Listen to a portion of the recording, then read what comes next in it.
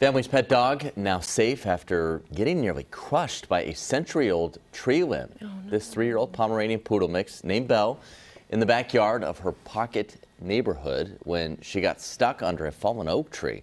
SAC firefighters used two chainsaws and pry bars to cut away all that debris, eventually pulling her from the rubble, reuniting her with her family.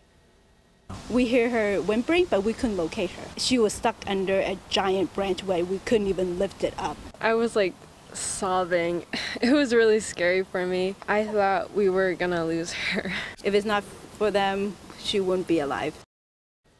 I mean, you gotta wonder like the suspense as they're kind of, you know, trying to dig and get the dog. The family immediately took her to the vet for a checkup. Doctor says no physical or internal ah. injuries. So lucky. Yeah.